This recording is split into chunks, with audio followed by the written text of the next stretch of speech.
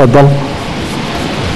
هو معلش آه، علشان ما حدش آه، آه، ليه إحنا غيرنا قاعة وايه الحكاية والمحكمة بتعمل إيه أنا هوضح حاجة بسيطة بس هي زي ما بيقول القرآن الكريم وبيقول سيدنا رسول الله من لم يشكر الناس لم يشكر الله.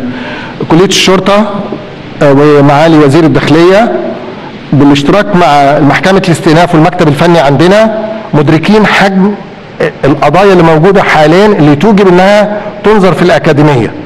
لو إحنا حسبنا الشهر هنلاقي الشهر لو اتقسم كل أسبوع اتنين يعني تمانية. يعني مش هنقدر نشوف في الأكاديمية غير تمن دوائر. وإحنا عندنا عمل يمكن أكتر من هذا العدد.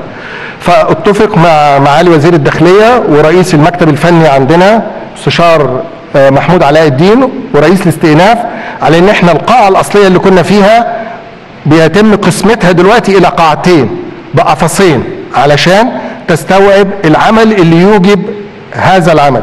لأن رئيس الاستئناف ووزير الداخلية ليهم وجهة نظر لابد المتقاضي والنيابة والقاضي يكونوا في ظروف آمنة تماما تسمح بالقضاء.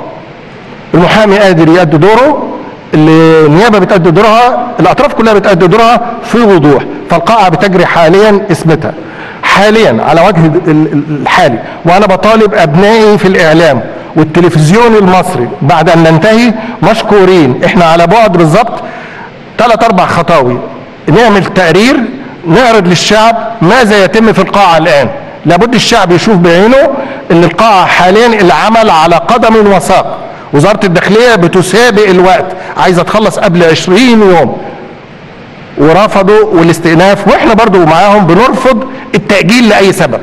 حاولنا نعمل في هذه القاعة. إذا كان هناك قصور فمعلش اعذروني. ويعني أنا هقول باسمي وباسم محكمة الاستئناف. شكر خاص لمعالي وزير الداخلية. شكر خاص للأستاذ الدكتور آه، أحمد جاد آه، مدير الأكاديمية يعني مش عارف أقول إيه واللواء أسامة المراسي واللواء أسامة آه، الصغير على المجهود اللي عملوه في التجهيز لهذا المكان إن إحنا نشتغل النهارده هنا. نبدأ الجلسة. النيابة العامة بسم الله الرحمن الرحيم آه، سيد الرئيس بشأن قرار المحكمة الموقرة بالجلسة الماضية بضم تقرير الطب الشرعي المتضمن النتيجة النهائية لفحص حرز البندقية ماركة بنالي برقم 234069 والبندقية ماركة موسنبرج برقم 845829 نتشرف بتقديم صورة رسمية من تقرير مصلحة الطب الشرعي في العريضة رقم 695 لسنة 2011 عرائض وسط القاهرة والخاص بفحص السلاحين المنوه عنهما والمؤرخ 7 4 2011 اسامه. أستاذ محمد النيابه قدمت التقريرين أو التقرير.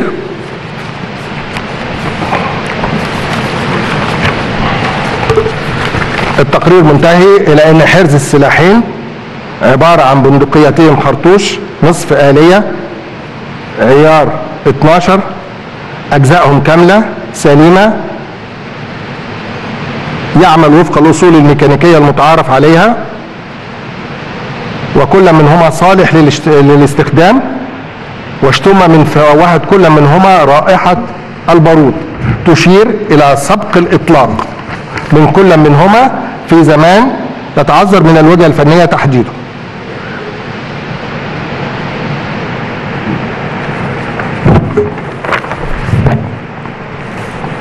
اتفضل سيد الرئيس بالجلسة الماضية قدمت النيابة العامة صورة طبق الأصل من التحقيقات التكميلية التي أجرتها بشأن ذخائر قطاع الأمن المركزي بوزارة الداخلية وقت الأحداث وأرفقتها بملف الدعوة.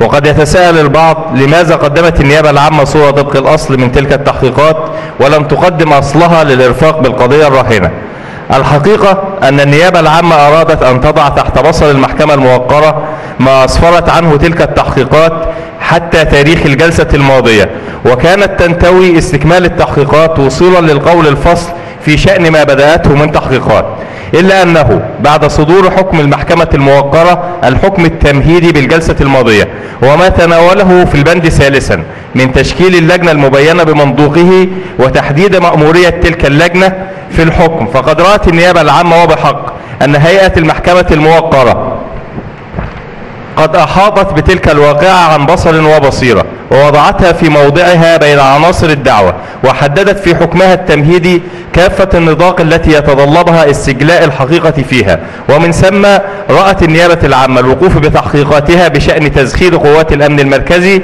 عند الحد الذي بلغته وإرفاق أصل تلك التحقيقات بملف الدعوة. ومن ثم فإننا نتقدم اليوم بأصل تلك التحقيقات وننوه إلى أنها أصلا للأوراق التي قدمت صورتها بالجلسة الماضية دون زيادة أو نقصان. بنشكرك شكرا. أثبت يا أستاذ محمد إن النيابة العامة قدمت أصول التحقيقات التي قدمت صورتها الجلسة الماضية.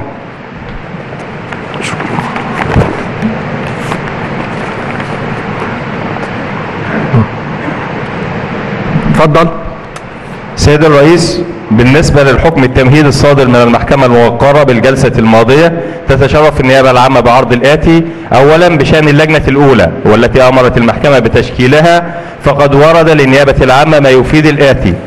قيام السيد الأستاذ الدكتور عميد كلية الهندسة جامعة القاهرة بترشيح الأستاذ الدكتور عادل يحيى عقل رئيس مجلس قسم الهندسة الإنشائية بالكلية رئيسا للجنة.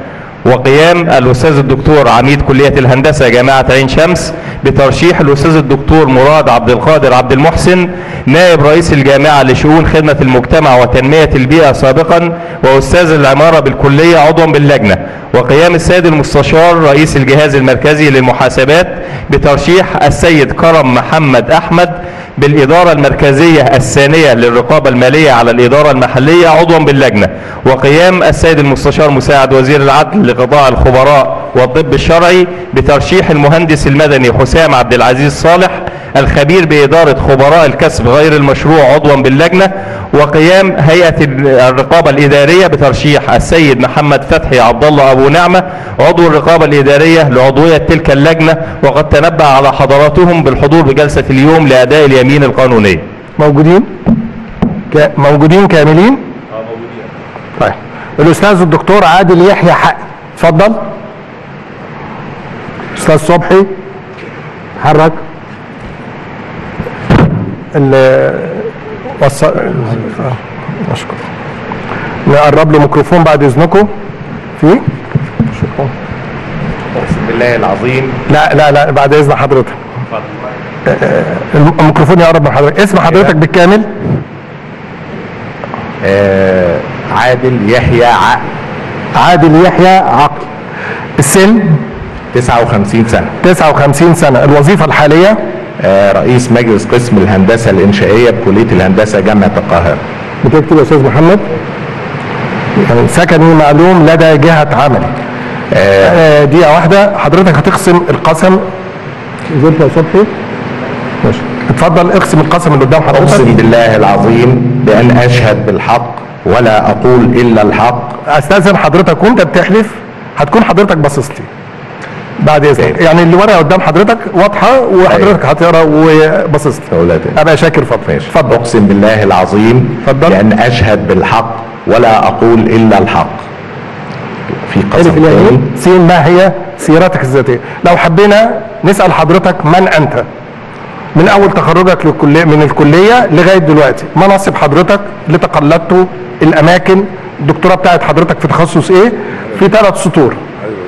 آه أنا تخرجت من كلية الهندسة جامعة القاهرة سنة 1977 آه. وعينت معيد بالكلية وأنا أعمل بالكلية من آه، حينها. أيوه. معيدا ثم مدرس مساعد ثم مدرس حصلت على الدكتوراه في الهندسة الإنشائية. من الخارج وعدت إلى الوطن فور انتهيت من رسالة الدكتوراه وعملت كمدرس في الكلية ثم أستاذ مساعد ثم أستاذ وحاليا أشغل منصب رئيس مجلس قسم الهندسة الإنشائية جميل. أستاذ محمد سين هل لديك أي رأي رسمي أو مستندي في الدعوة المطروحة؟ حضرتك ابديت أي رأي في القضية دي من قبل؟ لا لم يحدث لا. هل تقبل أداء المهمة اللي حضرتك مكلف بيها؟ أقبل إن شاء الله. قابل ليه محكمة طلبت منه أداء القسم الآخر. اتفضل اقسم القسم الثاني. أقسم بالله العظيم بأن أؤدي بالذمة والأمانة والعدل مهمتي المنتدب لها من قبل المحكمة. شكرا. اتفضل سلموا يا أستاذ محمد آه، أستاذ صبحي الملف والمأمورية المنوطة به أسامة. سلموا مع المأمورية الأستاذ الدكتور مراد عبد القادر عبد المحسن.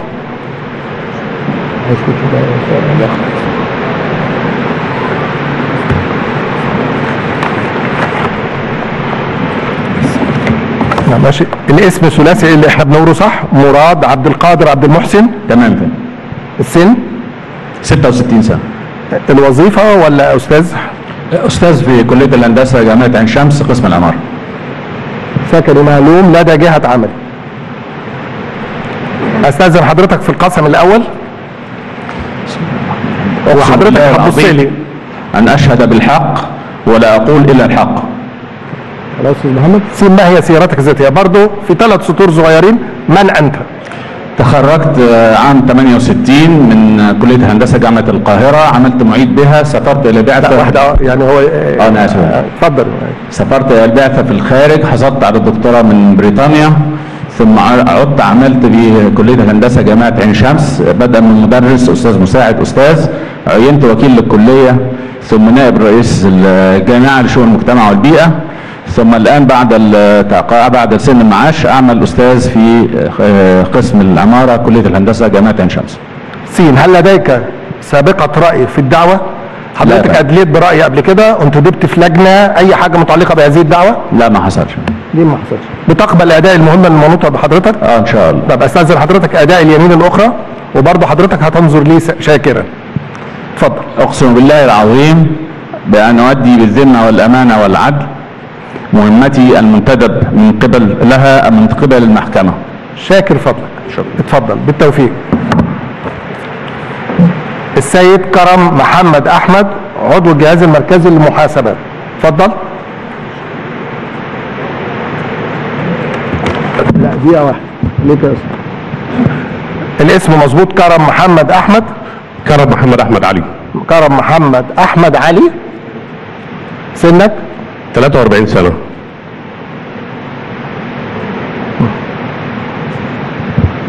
الوظيفة الحالية؟ مراقب بالجهاز المركزي للمحاسبات. في شعبة محافظة شمال سيناء ببورسعيد واحدة واحدة واحدة عشان الراجل بيكتب وراكم. مراقب أيوة. بالجهاز المركزي للمحاسبات شعبة محافظة شمال سيناء ببورسعيد خلاص أستاذ محمد سكني معلوم برضو الجهة عملي أستأذنك في اليمين الأول. اتفضل. وبص لي. أقسم بالله العظيم بأن أشهد بالحق ولا أقول إلا الحق. اتفضل ناخد نب- نبذة عن حضرتك. آه، تعين في الجهاز المركزي للمحاسبات بس آه، أستأذنك واحدة واحدة عشان يعني يقدر يكتب. اتفضل آه، اولا خريج تجارة سوهاج تعين بالجهاز المركزي للمحاسبات آه، عام 93 بالقاهرة ثم انتقلت إلى محافظة الوادي الجديد وحاليا تدرجت في المناصب حتى وصلت إلى وظيفة مراقب بالجهاز المركزي للمحاسبات بشعبة محافظة شمال سيناء ببورسعيد لا أستاذ محمد. هل لديك سابقة رأي في هذه الدعوة أو دعاوى مماثلة لها؟ آه، أستسمح عدالة المحكمة أن أوضح أمر ما. اتفضل بتاريخ 7 8 2012 تم ندبي ضمن لجنة مشكلة من قبل جهاز الكسب الغير المشروع بموجب قرار السيد المستشار رئيس هيئة الفحص والتحقيق في الشكوى رقم 29 سري لسنة 2011 كسب غير مشروع. رجاء رجاء واحدة واحدة. نحن آتين للمحكمة للعمل وليس للانصراف. فواحدة واحدة علشان يقدر تحت عداله المحكمة. شاكر فضلك وذوقك اتفضل بتاريخ 7 8 2012 تم ندبي ضمن لجنة مشكلة من جهاز الكسب غير المشروع بموجب قرار السيد المستشار رئيس هيئة الفحص والتحقيق في الشكوى رقم 29 سري لسنة 2011 كسب غير مشروع والمقيدة ضد حسين كمال الدين إبراهيم سالم وذوي وذلك لفحص واقعة تخصيص الأراضي للمشكو في حقه في محافظة جنوب سيناء. وما إذا كانت هناك لا أنا مش عايز التفاصيل المهمه آه. يعني أنت كان لك رأي سابق في هذه الدعوة. الورق ده مع حضرتك الورق اللي أنت بتقول بتا... قرار هيئة الفحص والتحقيق موجود معايا وقرار إيداع التقرير موجود معايا. محمد أو عطية ينزل يجيب لي الورق ده. طب، دول وتم إيداع تقرير بتاريخ بعد 14 اذنك أربعة. لا شأن لنا بالتقرير لو سمحت. لك رأي في ال- الاوراق خلاص. نستاذنك سلم الورق مع حضرتك ونستاذنك في الجلوس. شكرا على المحكمة شاكر فضلك. إحنا اللي بنشكرك على حضورك وعلى أمانتك. السيد المهندس حسام عبد العزيز صالح الخبير بوزارة العدل. ما جاش. طيب. ما أنا لا إحنا بنطمن إنه موجود كلجنة مكملة مع بعض. طيب الأست... السيد محمد فتحي عبد الله أبو نعمة عضو هيئة الرقابة الإدارية. اتفضل. الاسم اللي إحنا بنقوله صح؟ محمد فتحي عبد الله أبو نعمة. مظبوط يا فندم. يا أستاذ محمد السن؟ 37 سنة. 37 سنة. عضو بهيئة الرقابة الإدارية. أيوه يا فندم. في شعبة معينة أو تخصص في يعني ليك تخصص معين في ولا مجال الإسكان يا في مجال الإسكان. سكني معلول لدى جهة عملي. نستاذن حضرتك في القسم الأول؟ أقسم بالله العظيم. واستاذن حضرتك في النظر ليه؟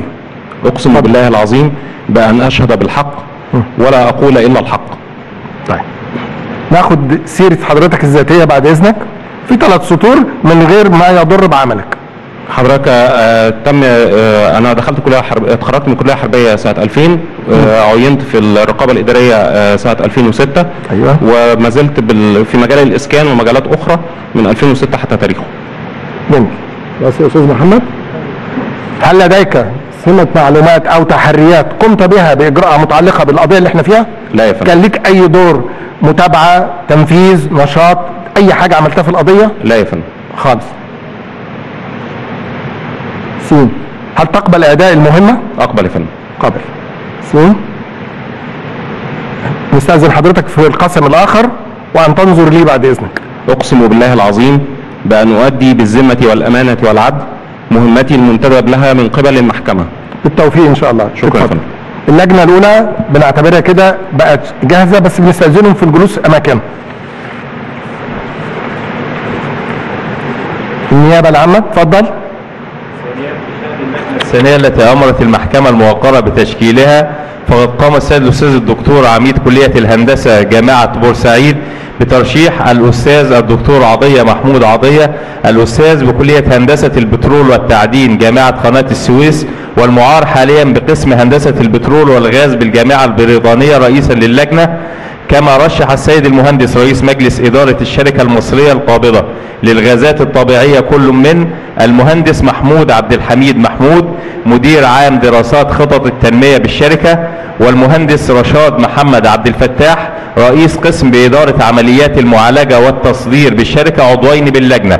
كما قام السيد المستشار مساعد وزير العدل قطاعي الخبراء والطب الشرعي بترشيح السيد الخبير المحاسبي محمد فكري عبد الحميد الخبير بإدارة خبراء الكسب غير المشروع عضوا باللجنة كما رشحت هيئة الرقابة الإدارية السيد حسام رشاد عضو الهيئة لعضوية اللجنة المشكلة بقرار المحكمة اللجنة مكتملة عندنا هنا.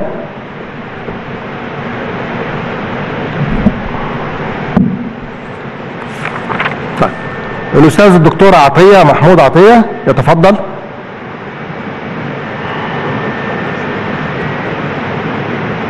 الأستاذ هاني حرك بملفك. الاسم اللي إحنا بنقوله مظبوط عطية محمود عطية. تمام يا فندم. السن؟ 54 سنة. 54 سنة. الوظيفة الحالية؟ أستاذ بقسم هندسة لا استاذن حضرتك في رفع الصوت. أستاذ بقسم هندسة البترول والغاز بالجامعة البريطانية.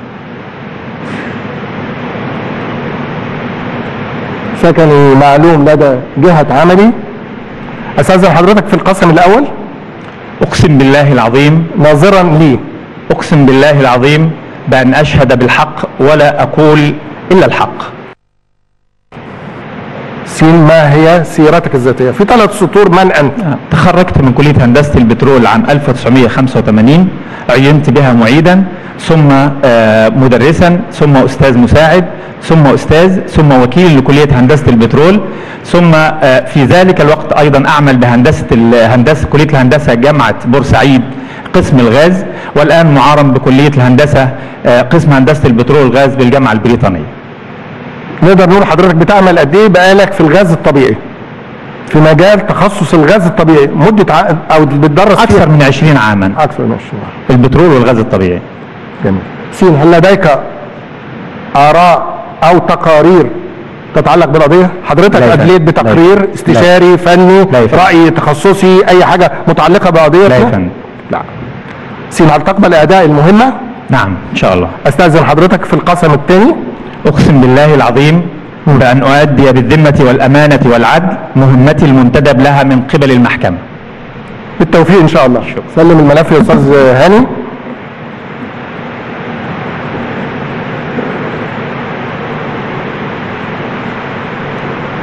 المهندس محمود عبد الحميد محمود فليتفضل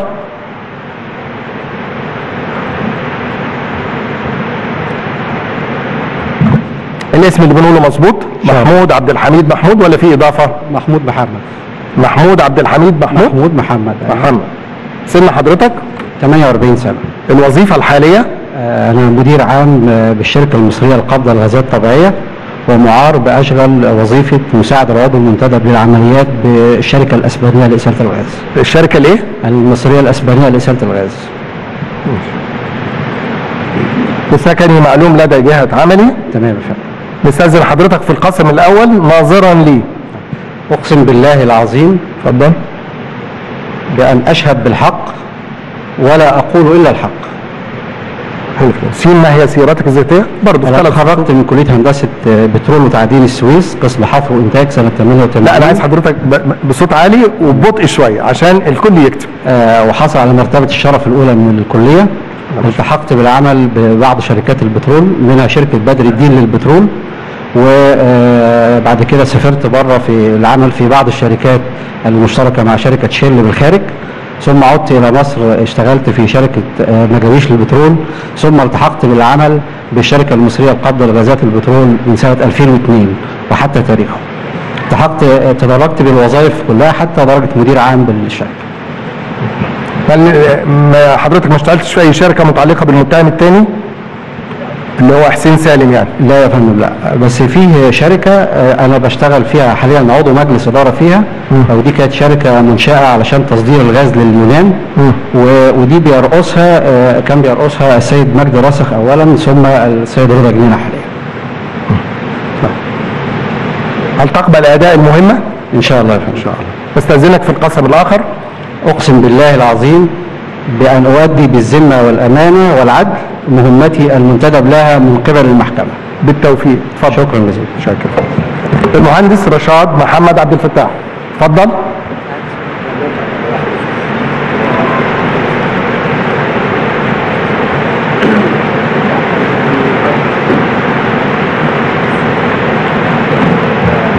الاسم مظبوط؟ رشاد محمد عبد الفتاح. مظبوط يا فندم.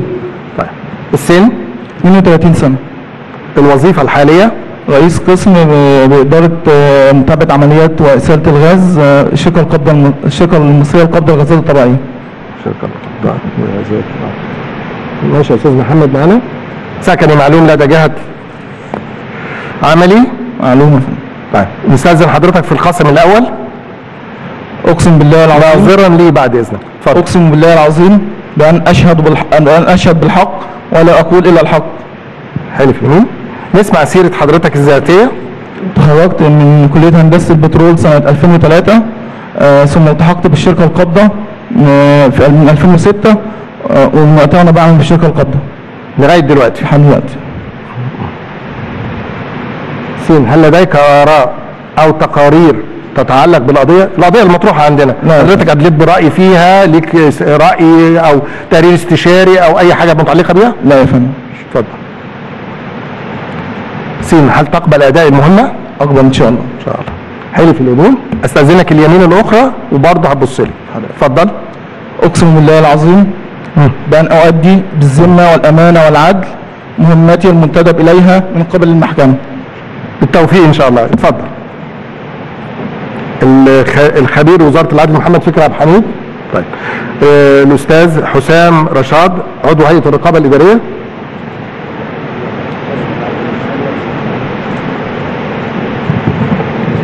نقول اسم حضرتك معلش هو الاسم قدامي ثنائي. حسام رشاد. هو الاسم حاسم رشاد محمد. حاسم؟ أيوه. حاسم رشاد محمد. فلتسامحنا. معلش. حاسم رشاد محمد. السن؟ 38 سنة. 38 سنة. عضو بهيئة الرقابة الإدارية. تمام سكني معلوم لدى جهة عملي. أستاذن حضرتك في القسم الأول. أقسم بالله العظيم بان اشهد بالحق ولا أقول إلا الحق. ناخد السيرة بتاعت حضرتك الذاتية. أنا اتخرجت من الكلية الحربية سنة 95 والتحقت العمل بهيئه الرقابة الإدارية سنة 2003 وما زلت بالعمل فيها دلوقتي. التخصص اللي حضرتك بتشتغل فيه في الرقابة؟ آه، يعني هو أكثر من تخصص حاليا. نقدر يعني في- آه في المحافظة حاليا برضه. م- م- آه، في نطاق المحليات يعني؟ تمام فندم نطاق المحليات.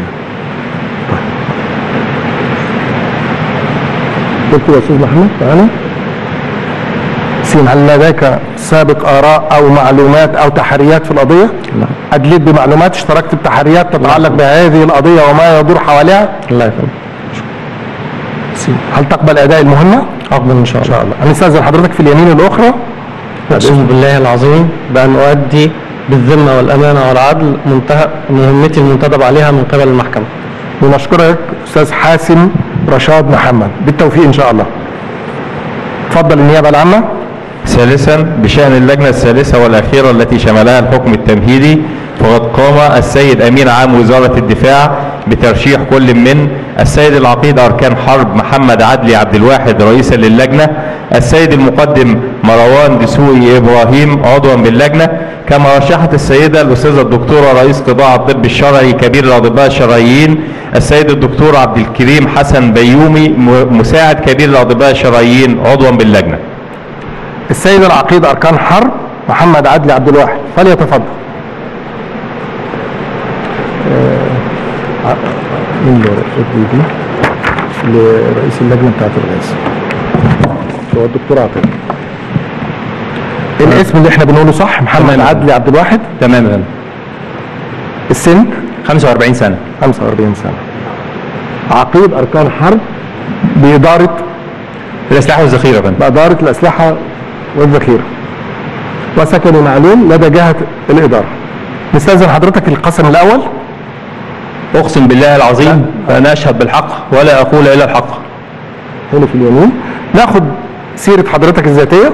تخرجت من الكلية الفنية العسكرية سنة 1990 حاصل على بكالوريوس الهندسة الميكانيكية. وماجستير العلوم العسكرية. وزميل كلية الحرب العليا.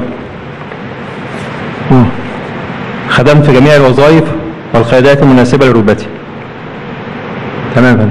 في الأسلحة والذخائر من الأسلحة والذخيرة يا فندم. بقالك قد إيه؟ من سنة 90 25 سنة أو 23 سنة. 23 سنة. يا أستاذ محمد هل لديك رأي سابق في القضية؟ حضرتك أديت رأي في حاجة متعلقة بالقضية دي؟ لا يا فندم. وتقبل أداء المهمة؟ أقبل. نستأذن حضرتك اليمين الأخرى ناظرا لي. اتفضل. أقسم بالله العظيم بأن أؤدي بالذمة والأمانة والعدل مهمتي المنتدب لها من قبل المحكمة.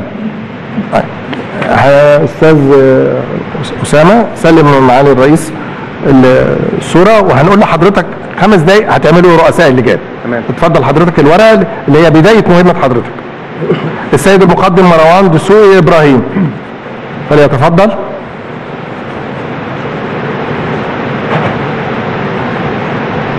الاسم مظبوط سياده المقدم؟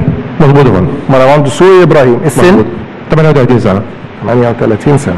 ال- السلاح اللي حضرتك بتعمل فيه؟ أسلحة وذخيرة. أسلحة وذخيرة. سكني معلوم لدى جهة الإدارة. استأذن حضرتك في القسم الأول.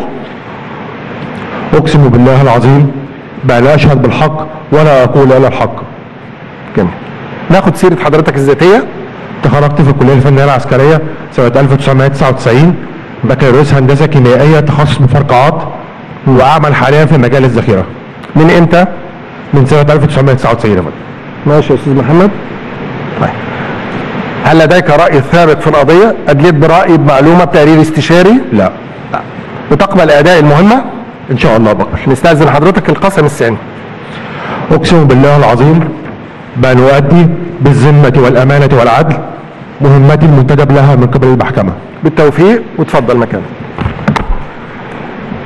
بعد ان اقسمت اللجان كلها آه اليمين آه إحنا هنبدأ نعمل فكرة إن زملائي في الدايرة مشكورين هيبقى ليهم متابعة مع اللجان علشان تذليل العقبات اللي هتواجههم.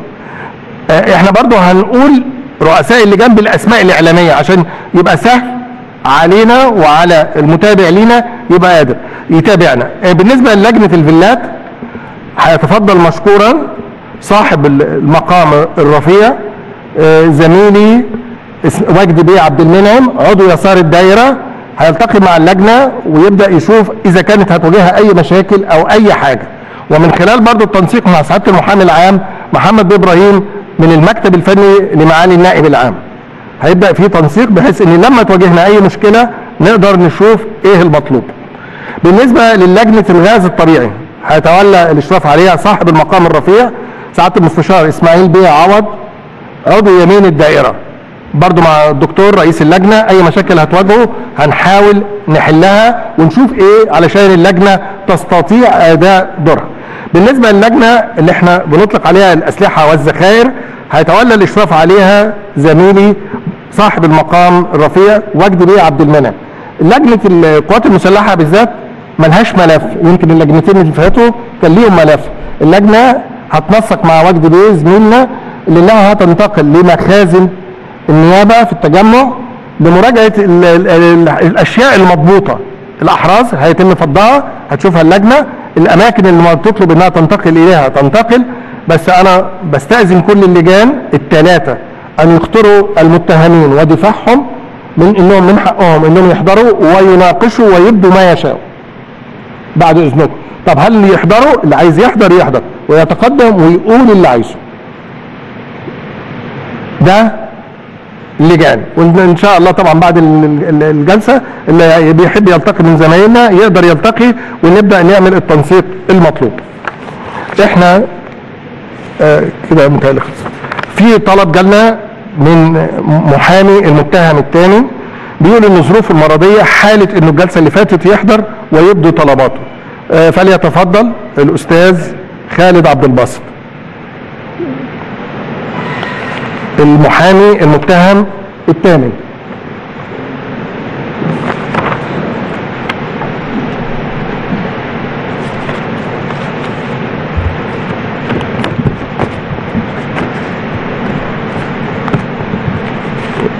شكرا على مشروع لاستجابة الطلب. اتفضل. دكتور خالد عبد الباسط عن مع المتهم الثامن. آه، التمس من الهيئة الموقرة ضم المكاتبات المتبادلة بين جهاز المخابرات العامة وجهاز مباحث أمن الدولة من تاريخ أكتوبر لسنة 2010 حتى 1 3 2011 وخاصة واحدة واحدة. بعد إذنك عشان يكتب. أنا هديله أستأذنك عشان أنت كا ولا أنت عامل مذكرة؟ آه عن مذكرة. طيب خلاص. طيب. اتفضل. وخاصة المكاتبات المتعلقة المتعلقة بدخول العنصر الأجنبي إلى مصر وبخاصة المكاتبة الموجودة لدى جهاز مباحث أمن الدولة الواردة من المخابرات مخاطبة مخاطبة جهاز مباحث أمن الدولة باتخاذ الحيطة والحذر حيث دخل إلى مصر خمس مجموعات مكبرة من كتائب عز الدين القسام حركة حماس الفلسطينية إلى البلاد لإشاعة البلبلة والفوضى واقتحام جهاز مباحث أمن الدولة والمخابرات والاستيلاء على أرشيفهم أيضا المكاتبات المرسلة من جهاز مباحث أمن الدولة ورصد تقرير المكاتبات التليفونية المتبادلة بين الجهازين التي توضح تفعيل عمل جهاز مباحث أمن الدولة في الرصد والمتابعة للعناصر الأجنبية التي دخلت مصر في بداية ثورة 25 يناير. مما يستلزم أيضا يا سيدي ضم المكاتبات وتقارير الاتصال لمكتب أمن الدولة بسيناء الذي قام به المتهم الثامن حسن محمد عبد الرحمن رئيس جهاز مباحث أمن الدولة الأسبق يوم 24 واحد 2011 مخاطبا مكتب أمن الدولة سيناء بضرورة نقل جميع الأرشيف إلى مديرية أمن سيناء وذلك لسبق رصد العنصر الأجنبي واحتمالية دخوله إلى سيناء. والذي بالفعل تم نقل جميع أرشيف مكتب أمن الدولة سيناء إلى مديرية أمن سيناء. وتم بعدها ضرب مكاتب أمن دولة سيناء بالأر بي جي من قبل العنصر الأجنبي يوم 26 واحد 2011 عند اقتحام حدود مصر عن طريق الأنفاق وهذا ما رصده جهاز مباحث أمن الدولة.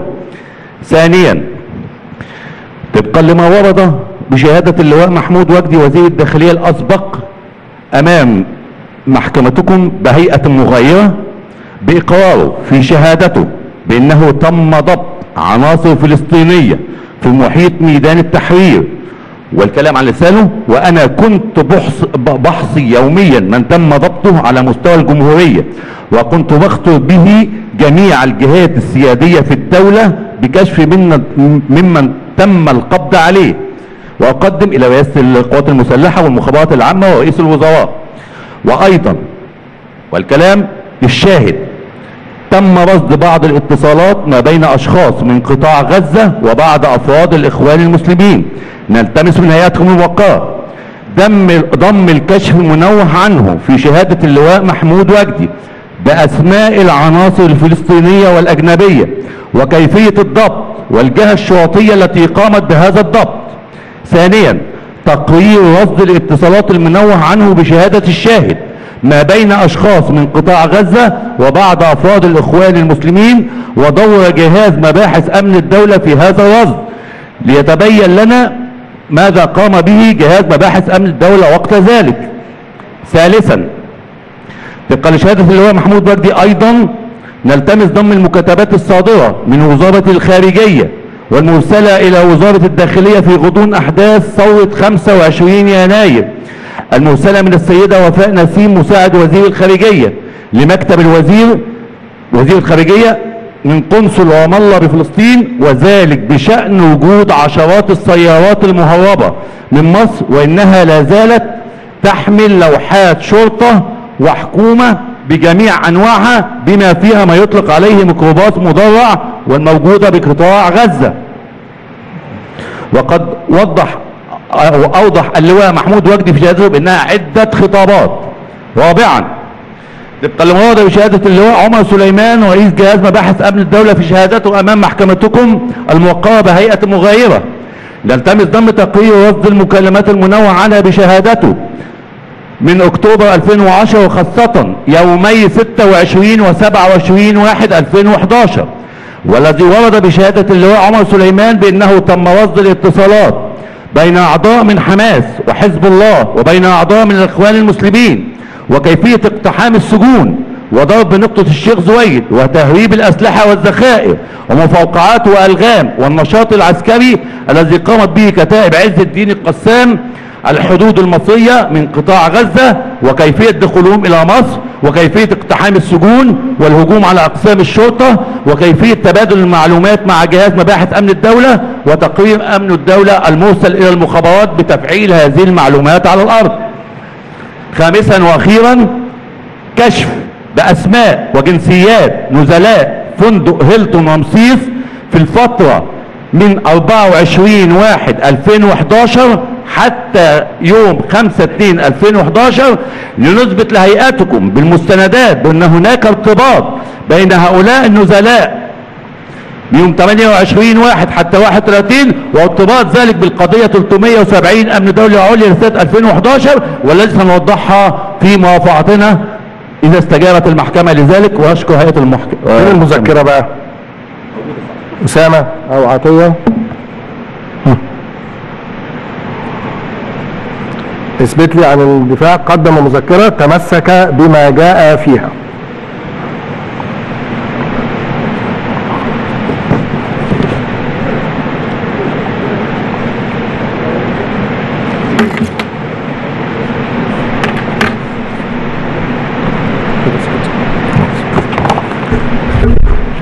هترفع الجلسة لمدة 15 دقيقة ثم ما حدش طلب حاجة. ما طالما ما طلبتش تكتب طلب. لا نعم. مثبت طلب مثبت كتب يعني جاني؟ فين هو؟ طب معاك يعني ما جانيش. ما أنا مش كان المفروض قبل الجلسة بسلمه للسكرتير فبيصل. نعم؟ طب اتفضل قولوا هاتوا يا عطية. نعم؟ آه آه طيب. آه لا ده حق طيب هاتوا يا عطية. ماشي حاضر. ما المفروض كنا سلمنا الطلبات كلها يا جماعة مرة واحدة. إحنا اتكلمنا الجلسة اللي فاتت. إحنا اتكلمنا الجلسة اللي فاتت. في الطلبات. طب اتفضل. برضه هنبقى برضه مصممين على الكتابة. الكتابة يا جماعة بتدي صورة أكثر ايضاحا. مع الإيضاح؟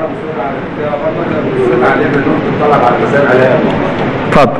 ونصرف بهذا اتفضل.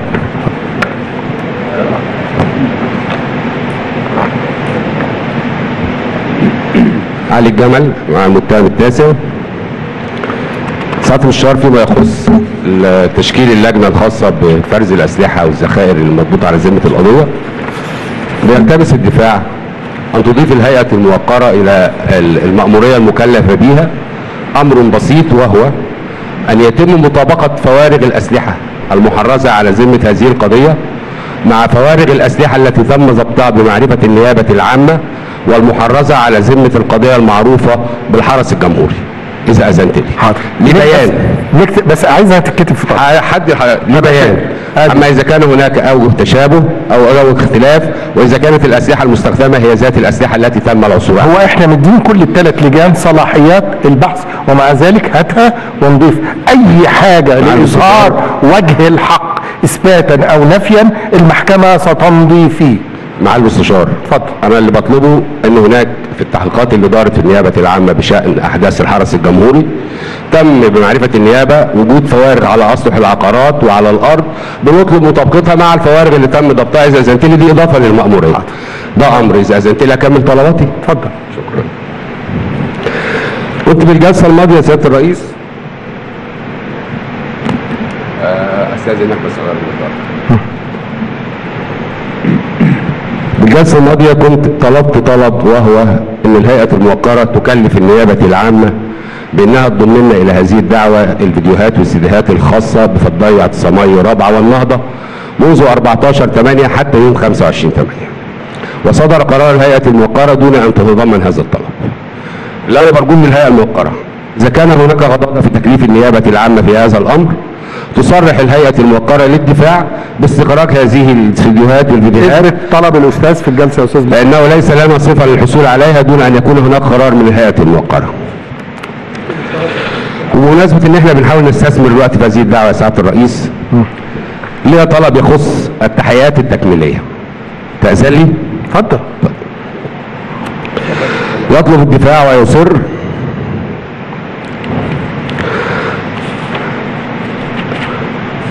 تفصل الهيئة الموقرة في مسألة أولية وجوهرية قبل الدخول في الموضوع ألا وهو إعمالا للقاعدة القانونية. ما بني على باطل فهو باطل.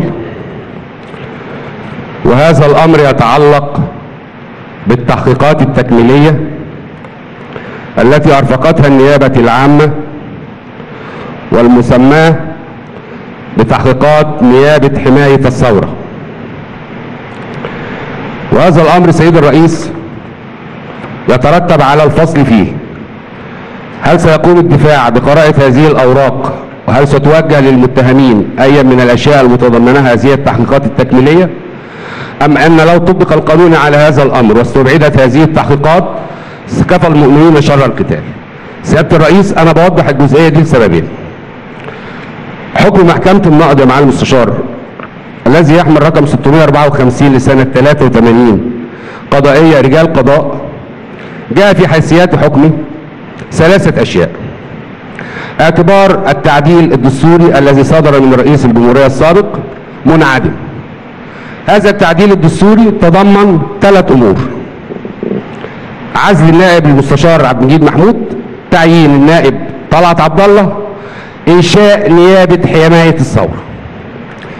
اذا أنا بصدد تحقيقات وإجراءات قانونية قامت بها النيابة العامة بإجراء باطل قضي بحكم نهائي فيه ببطلانه وقرار الندب لاتخاذ الإجراءات من السادة أعضاء النيابة العامة صدر من نائب عام صدر حكم ببطلان تعيينه وبالتالي يبطل كل ما تلاه من إجراءات.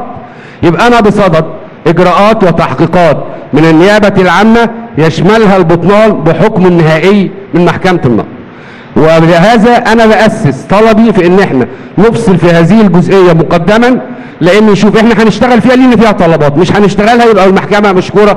ساعد في هذا الأمر قبل أن ندخل في موضوع الدعوة.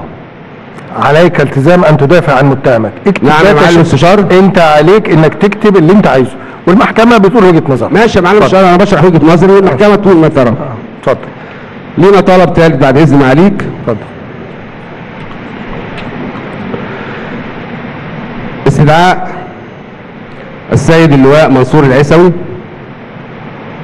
لسماع شهادته أمام المحكمة الموقرة رغم سماع شهادته أمام هيئة مغايرة وذلك لصدور أقوال جديدة على لسان تلت هذه الشهادة كانت فيها معلومات هامة ولاحقة وتدخل في صلب موضوع الدعوة وموضوع الاتهامات المسندة للمتهمين منها على سبيل المثال في مداخلة تلفزيونية مع المذيع عادل حمودة ذكر اللواء منصور العيسوي أن الإخوان تحديدا هم الذين قاموا بقتل المتظاهرين من فوق أسطح العقارات المحيطة بوزارة الداخلية وقنصهم بعد استئجارهم لهذه الأسطح. وكذلك هم من كانوا فوق أسطح العقارات بالجامعة الأمريكية. وسأله المذيع لماذا لم تقل هذا من قبل؟ وكان رده لأنني توصلت لذلك من استمرار التحري والبحث حتى تأكدت من صحة تلك المعلومات. هكذا جاء في أقوالي ولهذه الشهادة أهمية أن يكون لديه بعد التحريات والبحث ما نستطيع والمحكمة الموقرة. أن تخرج بها بما يغير وجه الفصل في الدعوة إذا ما سمعت الشاهد كما أوجبه القانون ومحكمة النقض. وشاكر الهيئة الموقرة حسن السماح شكرا جزيلا. يا جماعة إحنا عرضنا الجلسة اللي فاتت. عرض إيه يا ريس؟ لا أنا بقول للأستاذ اللي اتفضل. عن المتهم العاشر فندم. العاشر. كنا طلبنا في الجلسة السابقة سماع شهادة اللواء مراد موافي رئيس جهاز المخابرات العامة السابق وسماع شهادة السيد اللواء رئيس جهاز المخابرات العامة الحالي. ولم نعلم قرار المحكمة بشأن طلبنا ريس هو هو هل مطلوب من المحكمة اللي يقول حاجة؟ نطلع كل يوم نقول لا هنوافق على ده ولا ده؟ ولا بيبقى في تنظيم للعمل عند المحكمة؟ يعني يعني انت اثبتت طلبك. انت اللي تطمئن ليه ان الطلب هل سجل قدام المحكمة ام لا؟ مكتوب في محضر الجلسة. وإحنا فندم بنصر على هذا الطلب لاهميته اقرا آذان المحكمة بقول للمحكمة الطلب مكتوب يدرس بس. وهنقدم طلب النهارده بالاصرار على هذا الطلب. تحت أمرك. شكرا. آه، نستأذن العودة مرة أخرى هيكون بالظبط 12 ونص. وبعد جلسة استبدال العضو كرم محمد أحمد علي. يعني أنا هقول المسمى عشان الناس يعني تبقى مستوعبة اللي هي لجنة الفيلات يعني. استبدلناه بالسيد وكيل الوزارة ورئيس قطاع الرقابة على الحكم المحلي بجنوب سيناء. اثنين استبدال العضو المهندس محمود. عبد الحميد محمود محمد بلجنة الغاز بآخر بذات التخصص. وحددنا جلسة 19 10 2013 ليحلف العضوين اليمين القانونية بإبداء الرأي بالذمة. دي الأحكام القرارات. قرارات المحكمة التأجيل لجلسة السبت الموافق 19 10 2013 بس قبل ما أقول هقوله آه، المحكمة بتمشي في حاجة اللي إحنا قلنا عليها من الأول اللي هو التنقيب عن الحقيقة. التنقيب واخد وجهين اللي إحنا بنسميه التحقيق. بس الناس اعتادت على إن كلمة التحقيق يعني سين وجيم إحنا في الجلسة اللي فاتت سلكنا طريق كشف الحقيقة بالخبراء. من الجلسة اللي جاية هنسلك الطريق اللي بتقول اللي يعني المتعارف عندنا جميعا اللي هو التحقيق. هنبدأ نقول أسماء ومواعيد كل الناس اللي إحنا هنستدعيها فأنا برضه هحاول أقرب لها علشان الكتاب. تأجيل زي ما أنا قلت 19 10 وعلى النيابة العامة تنفيذ ما سيتلى واحد الإعلام بالحضور لتلك الجلسة اللي هي جلسة 19 10 2013 للمناقشة في الساعة العاشرة صباحا للسيد اللواء مراد موافي مدير المخابرات العامة الأسبق. وفي الساعة الثانية عشرة ظهرا للسيد اللواء مصطفى عبد النبي رئيس هيئة الأمن القومي. ده في يوم السبت. في يوم الأحد الموافق 20 10 2013 يعني في اليوم الثاني هيكون في الساعة العاشرة صباحا السيد الدكتور عاطف عبيد رئيس مجلس الوزراء الأسبق. وفي الساعة الحادية عشرة والنصف صباحا السيد اللواء أحمد جمال الدين وزير الداخلية الأسبق. وفي الساعة الثانية عشرة والنصف ظهرا السيد المهندس شريف إسماعيل وزير البترول والطاقة الحالي في يوم الاثنين الموافق 21 أكتوبر. في الساعة العاشرة صباحا السيد اللواء أركان حرب حسن أحمد محمد الرويني قائد المنطقة المركزية العسكرية السابق. وفي الساعة الثانية عشرة ظهرا المقدم عمر الدردير رئيس مباحث سجن المنيا في 25 يناير 2011 رابعا وحفاظا على الأمن القومي والصالح العام تقرر إيقاف البث المباشر لوقائع الجلسات المنعقدة في أيام 19 20 21 من شهر أكتوبر مع حظر نشر ما يدور بتلك الجلسات بأي وسيلة من وسائل النشر المرئية أو المقروءة أو المسموعة المصرية منها أو الأجنبية. وهذا لا يخالف عهدي مع الإعلام. أنا قلت من الأول إن الجلسات الشعب هيعلم كل حاجة إلا جلسات التحقيق. حتى نتيح للشاهد أن يقف ويدلي برأيه. فليغفر لي الإعلام. آه، ما سنجد منه من رواية. لا تتعلق بالأمن القومي. قاعد نكون القناة الشرعية للوصول من الإعلام برواية الشاهد. لكن أما وإن الشاهدة تمس الأمن القومي فلتقبلوا هذا. اثنين مع تكليف السيد الأستاذ المستشار صاحب المقام الرفيع هشام بيه بركات النائب العام أو من يندبه لتفعيل القانون فورا قبل المخالفين لقرار المحكمة بحظر النشر. ثلاثة اختار السيد اللواء أسامة الصغير مساعد أول وزير الداخلية لأمن القاهرة باقتصار الحضور لقاعة المحاكمة بتلك الجلسات الثلاثة المقبلة. على المتهمين وذويهم والسادة المحامين الموكلين سواء من المجني عليهم أو المتهمين والمصرح لهم آنفا وكتابة بالحضور والمدرجين بالبيان الجامع المسلم بجلسة اليوم للسيد اللواء يحيى العراقي مسؤول أمن المحاكمة. الكشف بالحضور أهو ويستلموا سيادة اللواء. والصورة الأخرى اللي هتتولى النيابة العامة مشكورة اختار الداخلية تتسلمها سعادة المستشار محمد بيه إبراهيم المحامي العام بمكتب الفني سعادة النائب العام. أربعة يحظر على المأذون لهم دخول قاعة المحاكمة بأيا من وسائل التقنية الحديثة للتسجيل أو التصوير بها كأجهزة الهواتف النقالة اللي إحنا بنسميها الموبايل أو أجهزة الحاسوب المحمول اللي هو اللابتوب أو اللوحية اللي هي بتسمى التابلت أو الآيباد. وخلافه من وسائل الاستبقاء. ولمن يتجاوز الحظر تحرر له مذكرة ويعرض علينا بما خالف. آخر حاجة أمرت المحكمة باستمرار حبس المتهم حبيب إبراهيم حبيب العدلي على ذمة القضية وتنبه على باقي المتهمين الحاضرين بالجلسة المقبلة في 19 أكتوبر سنة 2013 رفعت الجلسة. رفعت الجلسة!